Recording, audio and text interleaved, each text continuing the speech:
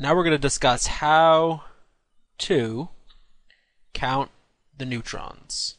So, if you've got some atom of something, and you know its atomic number, how do you figure out the number of neutrons in the nucleus? Because remember, the nucleus, right, this is kind of a little nucleus, is equal to the sum of the protons plus the neutrons, because the weight of the nutri- nucleus is just going to be equal to the weight of this guy, and they're all equal to, to 1, and the weights of these guys all equal to 1 added up.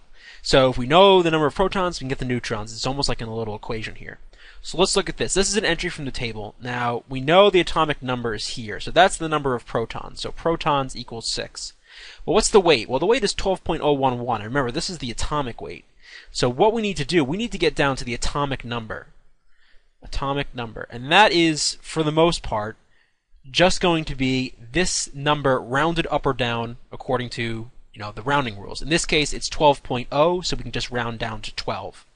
So the atomic number is just going to be 12. Now remember, atomic number, atomic number, is equal to your protons plus neutrons. So if we've got 12 as the atomic number, we just subtract 6 off, and that'll be the number of the neutrons. So our neutrons is just going to be 12 minus 6 equals 6.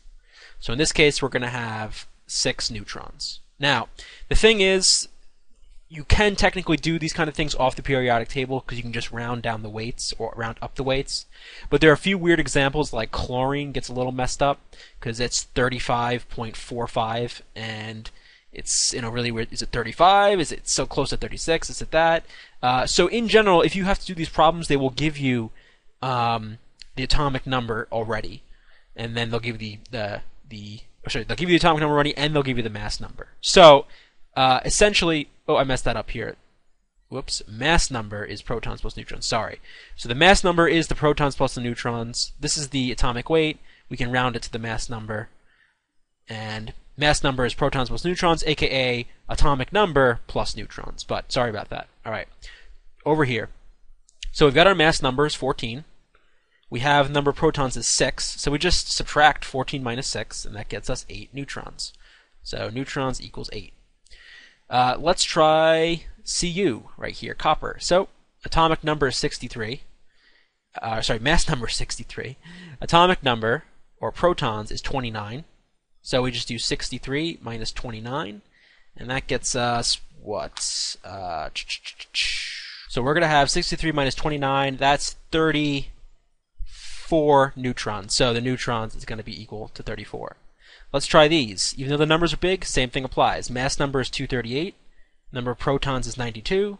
We just do 238 minus 92, and that gives us 146. 146 neutrons. Okay? And let's look at last one, 235. Uh, 235 is the mass number. Atomic number is 92.